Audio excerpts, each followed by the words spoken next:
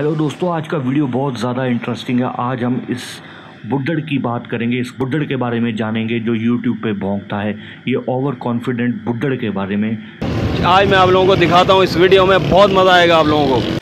لگاتار یوٹیوب پہ انڈیا کے بارے میں بھونکتا ہے، کچھ نہیں کرتا، کوئی ٹیلنٹ نہیں ہے، کچھ ہنر نہیں ہے اس میں بڈڑ میں صرف اس کو بھونکنا آتا ہے انڈیا پر۔ اور یہ اس وقت اتنا زیادہ اوور کانفیڈنس ہو چکا ہے، میں آپ کو بتا نہیں سکتا۔ چلو چھوڑو، آج ہم اس کے بارے میں جانیں گے تھوڑا۔ آپ کو اس کی فیملی ڈیٹیل کے بارے میں بتائیں گے۔ آپ حیران رہ جائیں گے اس ویڈیو کو دیکھ کر۔ پورا ویڈیو کو دیکھنا، اس بڈڑ کو بھی کر دینا شیئر یہ بڈڑ بھی ویڈیو دیکھ لے پوری۔ چلو سٹارٹ کرتے ہیں دوستو۔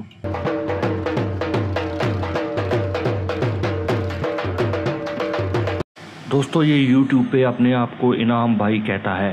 یہ کہتا ہے اس کا نام انعام بھائی ہے۔ لیکن کچھ لوگ اسے پیار سے کہتے ہیں۔ بھونسڑی والے چچا۔ اب جانتے ہیں اس کی فیملی کے بارے میں۔ یہ ہے اس کی امی۔ جب یہ پیدا ہوا تو پاکستان میں لوگوں کو شک ہو گیا۔ لوگوں کا شک دور کرنے کے لیے اس کی امی نے شادی کر لی۔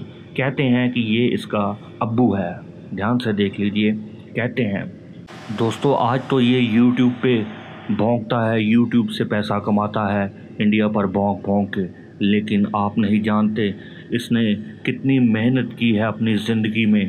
یہ دیکھیے، کبھی اس نے سبزی بیچی، وہ کام نہیں چلا۔ کبھی اس نے مٹن گوشت بیچا، وہ کام نہیں چلا۔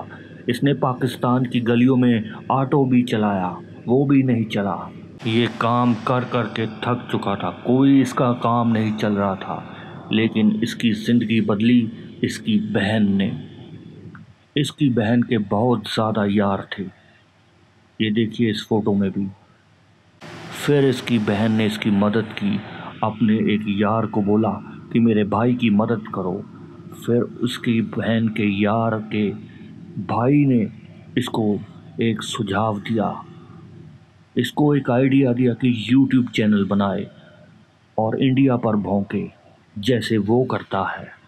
بس پھر اس دن سے اس کی گاڑی چل گئی اور اس کے گھر کا راشن چلنے لگ پڑا۔ اس کی بہن نے اس کی مدد کی۔ پھر اس کی شادی ہوئی۔ یہ ہے ان کے سالہ صاحب۔ اور آپ کو جان کر حیرانی ہوگی یہ بھی یہی کرتے ہیں۔ انڈیا پر بھونکتے ہیں یوٹیوب پہ صرف کرسی پر بیٹھ کر۔ پر بیٹھ کے چلانا اور بھونکنا جانتا ہے۔ اور انہوں نے بھی ان کی نقل کی۔ انعام بھائی کی اپنا نام بھی رکھ لیا شام بھائی۔ واہ۔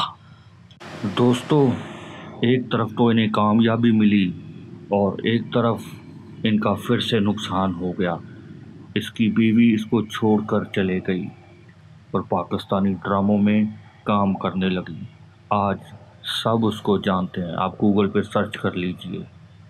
پھر اس کی امی نے اسی وقت اس کی بیوی کے چھوڑنے کے بعد اصل میں شادی کر لی۔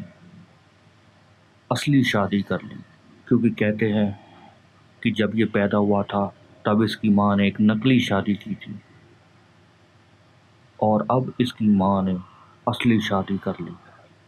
اور اس بندے کو بتایا جاتا ہے اس کا باپ۔ دوستو، اس نے زندگی میں بہت دکھ دیکھے ہیں۔ بہت دکھ دیکھتے ہیں۔ شاید اسی دکھ کی وجہ سے یہ یوٹیوب پر بھونکتا ہے۔ آپ نہیں سمجھ سکتے اس کا دکھ۔ دوستو، کتنا سنگرش بھرا جیون ہے اس گانڈو کا۔ اگر ویڈیو اچھی لگی ہے تو لائک کر دینا دوستو۔ ہاں اس نے ایڈورٹائزمنٹ میں بھی کام کیا ہے۔ اس کی بھی ویڈیو جلدی دکھاؤں گا۔ بائے بائے دوستوں